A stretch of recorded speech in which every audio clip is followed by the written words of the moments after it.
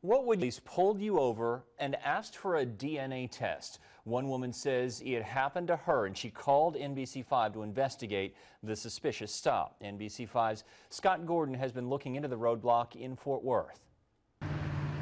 Kim Cope was on her lunch break Friday driving north on Beach when she came across two police cars with lights flashing. Yeah, they were about right in here. She says the uniformed officers directed her into this parking lot. I gestured to the guy in front that I just wanted to go straight, but he wouldn't let me and forced me into a parking spot. Once parked, she says she couldn't believe what she was asked next. They were asking for cheek swabs. Um, they would pay you $10 cash for that. Um, they would also, if you let them take your blood, they would pay you $50 for that. Or at the very least, she says, they wanted to test her breath for alcohol for free. It just doesn't seem right that you would be forced off of the road when you're not doing anything wrong. She says she felt trapped. I finally did the breathalyzer test just because I thought that would be the easiest way to leave. We asked Fort Worth and Haltom City Police about this. The parking lot is on the border of both cities, and each department told us they didn't know what we were talking about.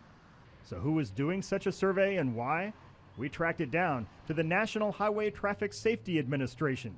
The federal agency confirms they're doing this in 30 cities across the country, part of an $8 million survey over three years to find out exactly how many drivers are drunk or on drugs. The government insists it's 100% voluntary and anonymous. You can't just be pulled over randomly or for no reason. But civil rights attorney Frank Colosi questions whether such stops are constitutional.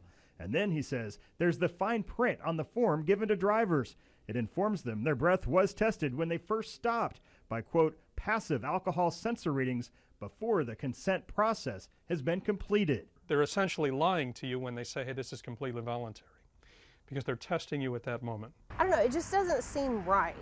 It, it just doesn't seem right that they should be able to do any of it. I mean, if it's voluntary, it's voluntary. And again, it just, none of it felt voluntary at all. Scott Gordon reporting there now. Fort Worth police are still checking into all this, but so far can't find any record of its officers being involved.